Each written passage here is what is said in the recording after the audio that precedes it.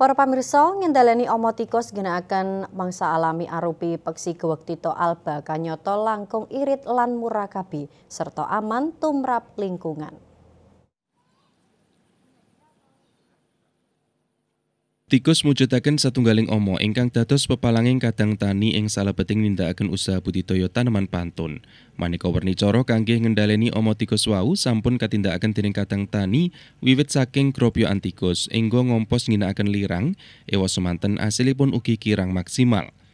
Ngendhaleni omo tikus ing lahan olah tetanen boten cekap namung lumantar gropyoan ngempos enggo nyukani racun ananging sedayanipun kedah katindakaken kanthi cara manunggal utawi terpadu. Bab ingkang mekaten menika ingkang sampun katindakaken dening Kadang Tani ing lalatan Pronosutan Kembang Nanggulan Kulon Progo. Ing pungkasaning wekdal menika Kadang Tani ing lalatan menika ing salebeting ngendhaleni omo tikus ngginakaken mangsa alami arupi peksi guwek Tito alba.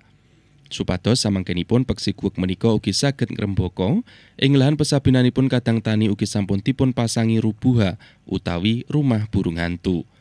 Menawi sekawit namung wonten utokawis kali iji rubuha, sakmenika sampun wonten puluhan rubuha ingkang kangge nigan peksi Tito Alba.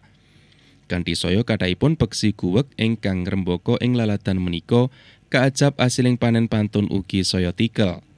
Saben setunggal peksi guwek menika saben dintenipun saged mangan gangsal enggo sedasa tikus.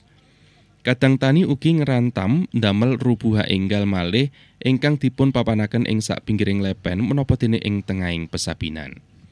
Widianto lan Harif Yuda Asung Palapuran.